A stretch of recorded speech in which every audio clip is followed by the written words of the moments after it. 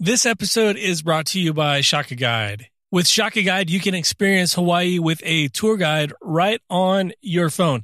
Shaka Guide uses your GPS to guide you to interesting places along your way. Automatic audio tours with turn by turn directions means all you need to do is turn on the tour and drive. Shaka Guide's self guided tours give you the freedom to explore the beautiful Hawaiian islands and know where to stop and what to do. This is a great alternative to your traditional tours because in this new normal of social distancing, Shaka Guide right on your phone is a great way to explore Hawaii. So go to hawaii'sbesttravel.com slash Shaka. Welcome to Hawaii's Best Travel Podcast, where we help you prepare for your next trip to Hawaii. Discover the experiences, businesses, and stories that make Hawaii the Aloha State. And now, your host, Bryan Murphy. Aloha and welcome to episode 44 of Hawaii's Best. Here at Hawaii's Best, we help prepare you for your next trip to Hawaii, and I'm your host, Bryan Murphy, the owner of Hawaii's Best. We give you the behind the scenes look at some of Hawaii's best experiences businesses, and influencers. And on today's show, we have Jessica Polk, who was born and raised on the island of Kauai. Jessica is the founder and owner of the Hawaiian Box, a subscription box service that proudly features small businesses in Hawaii. All the products that they feature are products that are made in Hawaii. That is just so important, as you know, especially during this whole year of 2020, I think the idea of buying locally, no matter where you're at, has been such an important facet into getting through this corona era. Not sure what to call it, but you know what I mean? Buying local has never been more important. And the same can be said for Hawaii local businesses. And if you love Hawaii, which I'm sure you do because you're tuning into this podcast at Hawaii's Best, it is really the heart behind what we do at Hawaii's Best is featuring local businesses. And Jessica from the Hawaiian Box, that is all that she does. And I just think that is really cool. So before we even get into the interview, I just want to let you know about a promotion she is doing that is starting on Black Friday. So if you enter the code Black Friday 1515 at checkout, you will get 15% off your order from Black Friday through Cyber Monday. So go to thehawaiianbox.com and go ahead and order right there. Now, the Hawaiian Box is a subscription service, so be sure to read everything that that entails. But I got to tell you, when we got our first box, it was such a cool experience. We have three girls, my wife, Ali, and I, and it was just amazing. They were so excited to see a box featuring all these amazing local products right in Hawaii. That excitement I want you to experience as well. It was just so cool. So again, go to thehawaiianbox.com after this episode and enter the code if you're listening to this on Black Friday through Cyber Monday, enter the code Black Friday 1515 at checkout for 15% off. Well, hey, enough of my yakking. Let's go ahead and we're going to talk story with Jessica from the Hawaiian Box on Kauai.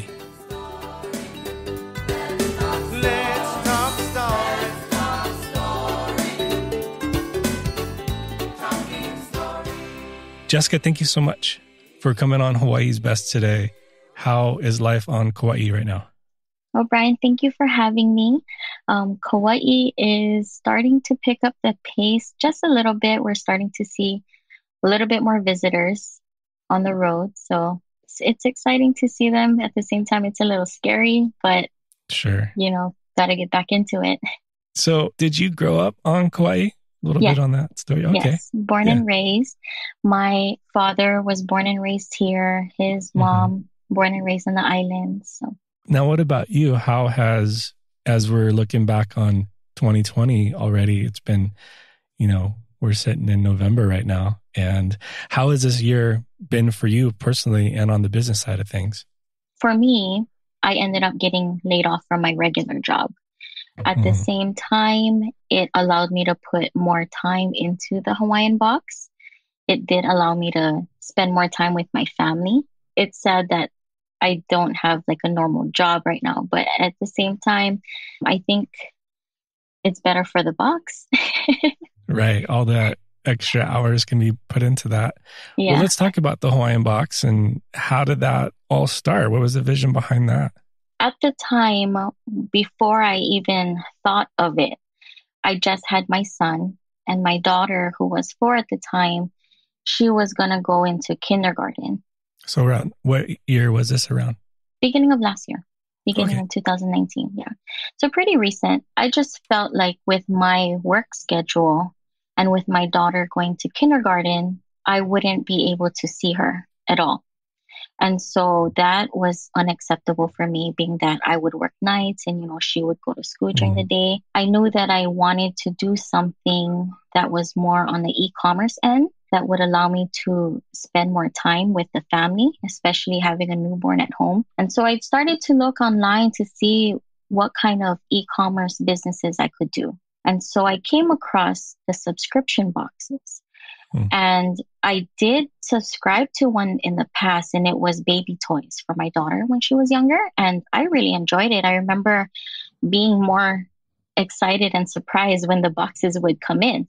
Right. But I looked into it and I asked myself, you know, if I ever did a subscription box, what would it be? Mm-hmm. And so that's where my love for the islands came into play. Um, my love for Hawaii, the culture. And so it would be you know, showcasing made in Hawaii products. And so did a little bit more research, found that there were a couple of Hawaii themed boxes out there that had more snacks. Mm-hmm. Another one was Hawaii coffee, but nothing yet touched on the product side. And so that's where I said, you know, I think I think this is something I should do. And so I took a stab at it and you know, here I am. I love that. You just went for it obviously the Hawaiian box is a subscription based box. That's kind of a, a new type of delivery system. Maybe someone who's not familiar with the subscription model, maybe you can un- unpack that a little bit. Yeah. So a lot of people are familiar with a magazine subscription. They'll order and a magazine will be delivered to their home every month, every couple weeks. And so the subscription box, it's the same concept, except instead of ordering to a magazine, you are subscribing to a box of items. And so, with our theme, the Hawaiian Box theme, you would be subscribing to Hawaiian goodies, authentically made Hawaiian goodies. Very cool. So you you you dove into the subscription box, and and that is really kind of. I mean, when we got ours, obviously all the goodies inside, and it's like, oh man, it's like you know, having that aloha just right right at your doorstep, which is really cool. Mm-hmm.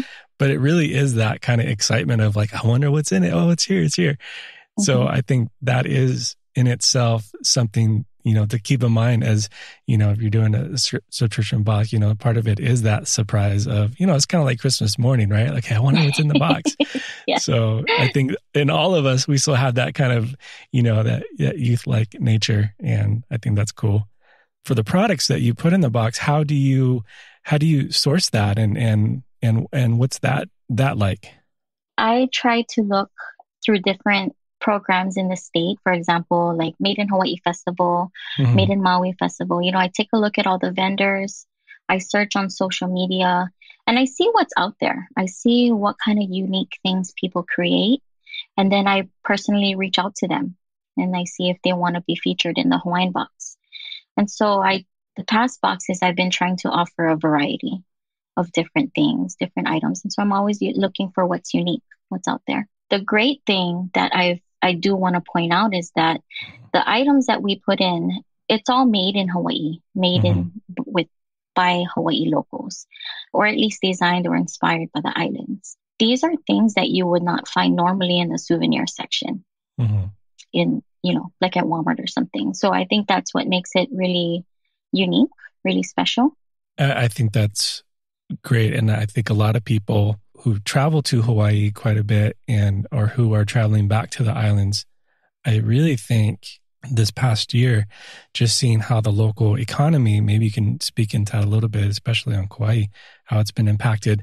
But I think there's a bit more of a conscientious in in travelers' mindsets of the importance of, of supporting local because in a sense this past year we've all had to have supported local you know be it in mm-hmm. wisconsin or, or whatever across the world that local economy truly matters so i think whenever we travel or wherever we travel being mindful of that local economy and especially with hawaii i know you kind of talked a little bit personally about what 2020 has been for you but just from your perspective what has life like been on the island of Kauai this past year been like? I've noticed a lot of people starting to open their own businesses because there's just no tourism right now. Right. And which is great. A lot of people are strongly supporting local businesses, buying from each other. They're constantly reminding each other that Hawaii doesn't need to rely on tourism for the economy to boom. Mm-hmm. And so a lot of locals are buying from each other, supporting from each other, and just, you know, trying to stay strong. That's great. Yeah. Cause with our backs against the wall, I mean, that's just something you, you have to, you have to do. Yeah. So, well, let's, let's open up the box a little bit and kind of give people what, what can they expect? Maybe just some examples of some items and some products that you featured. The first time I curated a box, put it together, I decided to do a theme of each island. So my first one was more Kauai products since I'm from Kauai. I had an artist with a notebook. She had her painting on a notebook printed on there. I had soaps in there. I had candles. I also had like a towel in there as well, a bag. And so that was just my first, that was my first box. The second one I hopped over to Big Island and I featured only Big Island products. And so that one was fun because I found people that made their own lotions. I found this one girl, she did her own handbags. And I also featured coffee in that box as well. So, yeah, just a real great variety. Most recently, I think the biggest hit was the Hawaiian Sun candles from yeah. local kind things. And that one had the lilikoi lychee scent. A lot of people loved that. That was their yeah. favorite. Yeah. Super creative. Upcycling with that is is cool. Are you gathering all the products and then are you packaging or how how does that and then shipping out? Are you doing all that in house? Yes, I am wow. the one that does everything. This summer was when I finally asked for help with my social media uh-huh. and I found someone in Oahu. She does a great job with my social media platforms. And then um, I did reach help for someone else to reach out to other vendors. But other than that, I am the one that packages it together, puts it together, decides what goes in the box. But for me, I don't mind that. Like, I feel like my boxes are going to a friend. Mm. And so when I package it, I package it carefully. Right. And I, I bet from all of these this product research and you're like, oh, you know, these people they make their own lotion and and they're doing this and she's making these handbags. I'm mm-hmm. I'm sure that has created so many new friendships and conversations too. Yeah. Yes, yes, definitely. Yeah, very good.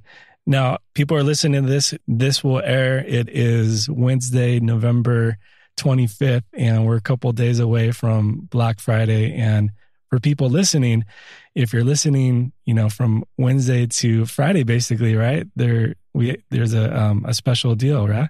Yes, I am offering 15% off from Black Friday till Cyber Monday.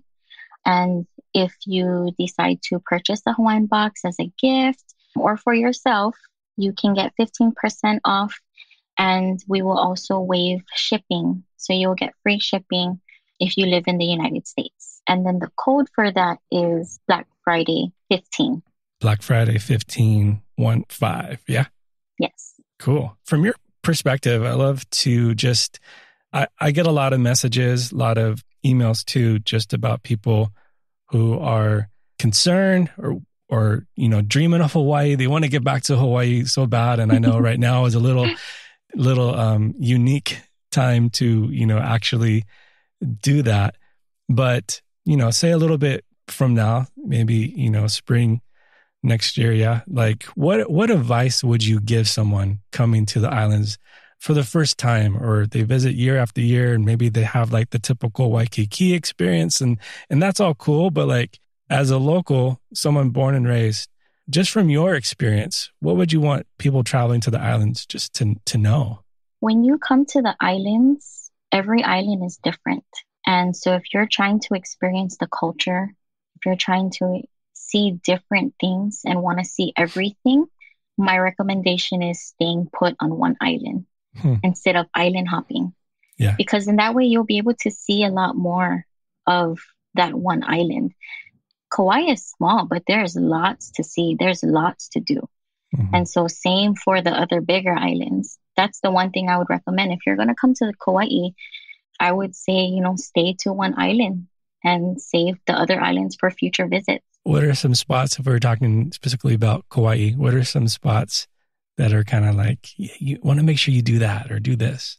Kokee for sure. Um, up in Waimea, make sure mm-hmm. you see the canyon. That's the farthest, most west of the United States. Yeah, it's pretty incredible. And I would say the North Shore. North Shore is my favorite place on an island. Yeah. It's so green there. It's so lush. Don't be afraid of the rain. We have warm rain. if you're in the beach, you're in the water. Don't run. Right. You're in. You're getting wet anyway. Very true. Well, I'm curious as you're looking at 2020 and assessing what's next for the Hawaiian box. What are some things that come to mind? Well, 2020, my main focus was exposure. And so I feel that I did accomplish that. 2021, I want to gain more exposure. I want to also grow my customer base. And I feel that that's important, not just for me, but also because I work with a lot of local businesses, it's supporting them too. Right. That's a huge heartbeat of what of why Hawaii is best started is yeah, you, everyone loves Hawaii and the experience of, of Hawaii, but it's it's so much more. I mean, Hawaii is the land. Hawaii is the culture. Hawaii is the mm-hmm. people. That's that's Hawaii. And I really think that what you're doing marries all that together, which is really cool. So way to Thank go. You. Yeah, absolutely. Is there anything else, Jessica, we wanted to make sure? So up until now, my boxes were seasonal, meaning I would send or deliver the boxes every three months. Mm. And so listening to a lot of feedback from customers, they love the box, but they feel that it was, you know, a little bit too expensive. I'm implementing changes starting January 2021. And so they can expect like a, a different variety. My mini box is going to be only foods. So if someone wants more foods from the island, then that's something that they could do. And then my current box now, I'm downsizing it to have about five items in there. This one is going to be more products in the box, non food items. And the beauty of this is that even though I do have the food box now, I have the product box, the items inside are going to be entirely different. So if someone wants to get, I don't know, the ultimate Hawaiian box, they could combine mm-hmm. both and get both. That's smart. Yeah. And just, you know, hearing feedback. I love that, you know, being still, still new in this and listening to feedback and, and making those adjustments. I think that that's awesome. So way to go. How can people follow you? How can people find you? My tag on Instagram is the Hawaiian Box. Okay. On Facebook, facebook.com forward slash the Hawaiian Box. All of my social platforms is the Hawaiian Box. Uh, website, thehawaiianbox.com. Way to go. Good job with branding. That's important. well, cool. Jessica, thank you so much for coming on Hawaii's Best today. Tr- truly appreciate you and what you're doing. Thank you, Bryan. Aloha. Aloha. Well, big thank you, mahalo to Jessica. Thank you so much for your time and what you are doing for the amazing local businesses on Hawaii. I just truly appreciate that. I know many people who are listening right now appreciate that, Jessica. So thank you so much. If you're listening to this episode and it's Black Friday through Cyber Monday, you can get 15% off by going to thehawaiianbox.com and entering Black Friday 15 at checkout. Well, again, thank you so much for listening to this episode. I truly appreciate your time. And as we go into this holiday season, I just want to say I am completely appreciative of you for not only listening to this episode, but caring so much about people of Hawaii. And that's really why we exist here at Hawaii's Best. So, from my ohana to yours, I just want to say a big aloha. And until next time, be well. Thanks for listening to Hawaii's Best Travel Podcast. To stay up to date on future episodes, be sure to subscribe. For more information to help you plan your next trip to Hawaii, visit hawaiisbesttravel.com.